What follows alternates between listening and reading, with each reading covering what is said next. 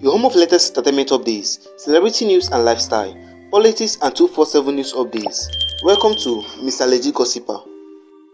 omo guys no be small matter omo guys as e dey be like this eh olamide and Shallipopi don do music together omo these videos were all posted on Shallipopi's um fan page where Shallipopi and Olamide were seen shooting a music video together.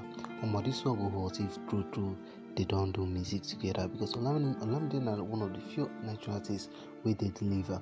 And the funny part be say im dey do free free this thing for any artist wey feature am. Even though na og whistle dey collect fifty to hundred million naira for features yes im dey do free of charge eh according to one blogger on facebook called interregion the post goes olamide asked how much i charged for a verse i told him he added five million naira on it to give me i say no you be og and na me get to pay you Baddo say no you are still growing and you need this I had no choice than to collect it. We made magic. Omo guys, this one really, really dey big if this one is true. Despite the fact that Shallipopi is the one featuring Olamide, Olamide added 5 million naira to the amount Shele Pop charges for a feature.